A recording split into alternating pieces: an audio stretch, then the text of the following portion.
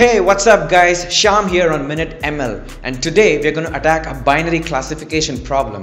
We're going to build a machine learning model that will be able to classify movie reviews as positive or negative. Let me give you a background on the dataset.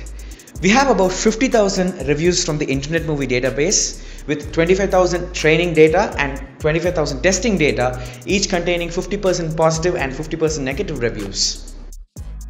I'm going to kickstart the virtual environment and this time around let's build the machine learning model in Jupyter Notebook. Well, that's something exciting. Similar to MNIST data, the IMDb movie review dataset comes packaged in Keras. So once again, we don't have to worry about building the dataset.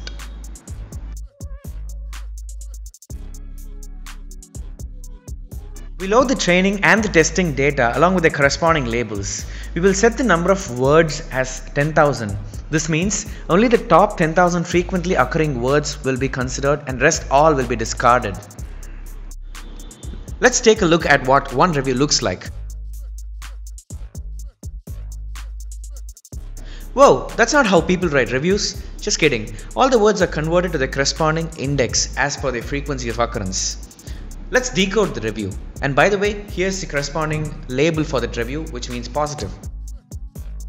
We get the word index for all the words which looks something like this. Then we reverse the mapping. After that we iterate through each value in one training example and get the corresponding word for the index value.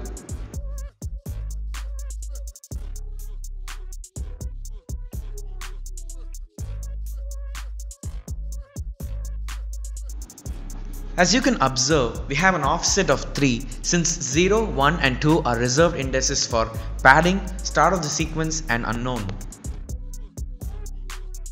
Here's how the decoded review looks like for one training data. In fact, it's a positive review. You cannot just pass a list of numbers into the neural network. You have to turn your list into tensors. One way to achieve that is one-hot vector encoding. In the previous video where we did a multi-class classification on the handwritten digits, we used to_categorical method to achieve this. In this case, let's write a small utility function that converts the input into the one-hot vector format. The one-hot vector encoding should have the first dimension equal to the number of examples in the training data. The second dimension should be equal to 10,000, where 10,000 corresponds to the top frequently occurring words. Here's what the training sample looks like after one hot vector encoding.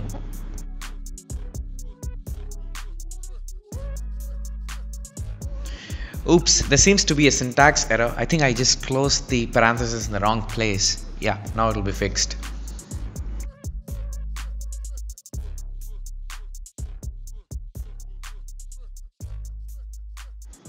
So that's how the training data looks like after one hot vector encoding.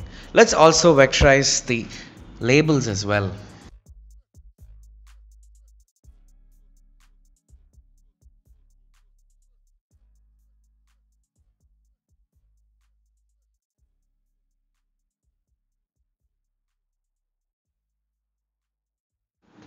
Okay, now comes the easy part where we need to build a network. Similar to the previous video, let's import models and layers and create a sequential model. Let's build a neural network with two hidden layers and 16 neurons each. Since this is a binary classification problem, we will have only one neuron or unit in the output layer with a sigmoid activation. What a sigmoid essentially does is it squashes the input that it gets into a range between 0 and 1, which essentially in this case becomes the probability that the review is a positive one.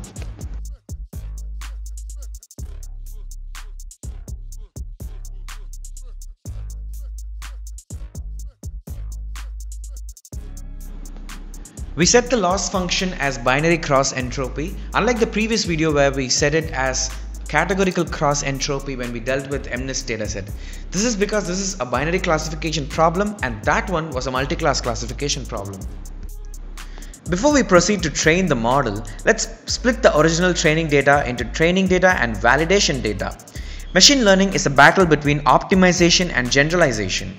Your model might fit extremely well on your training data, but that doesn't mean it can generalize well on previously unseen data. This is called overfitting.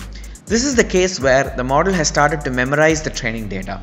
The trained model must perform reasonably well on the validation set as well to make sure overfitting doesn't happen. We are creating a validation set by setting apart 10,000 samples from the original training data. Next, we train the model by calling the fit method. We pass the corresponding arguments. We set the epochs 20 and the batch size to 512. We also pass the validation data so that the metrics are also calculated for the validation data. Here, metrics meaning the accuracy and loss.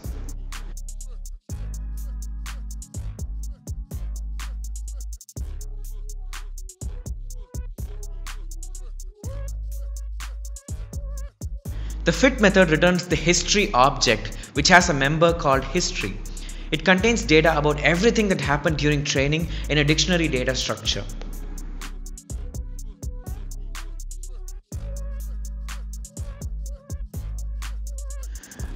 I'm going to get the training and validation metrics and store in the corresponding variables so that I can use them to plot the accuracy and validation for training and testing data.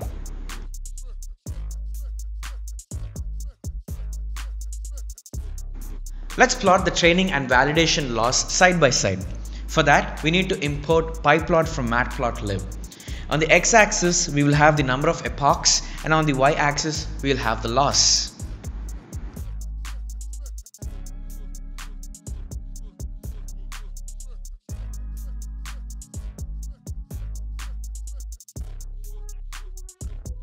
Similarly, let's also plot the training and validation accuracy side by side.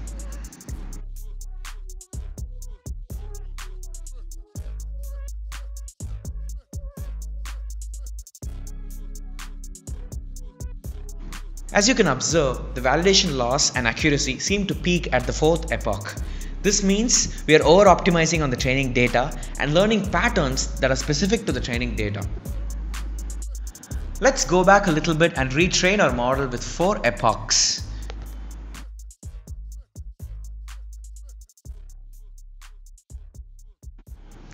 As you can see, we have achieved 88% accuracy. But with state-of-the-art techniques, we can achieve up to 95% accuracy. Let's evaluate the model by running it on the test data.